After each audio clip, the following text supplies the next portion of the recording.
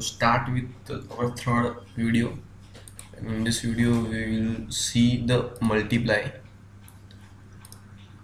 So multiply what it is doing it returns the product of the inputs. Means whatever two inputs you are giving it will just give you the multiplication.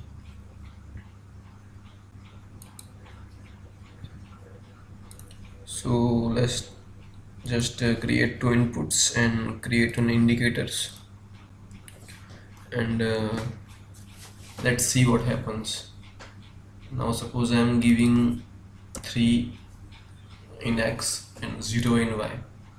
So what it will give? Nothing because 3 into 0 is 0 so suppose I am giving 2 here. So what it should give? 6 okay it is giving 6 so that's just basic uh, use of multiply. You can do the product of your inputs. Okay so that's it for now. That's simple multiply by that. And we will see some more uh, examples later on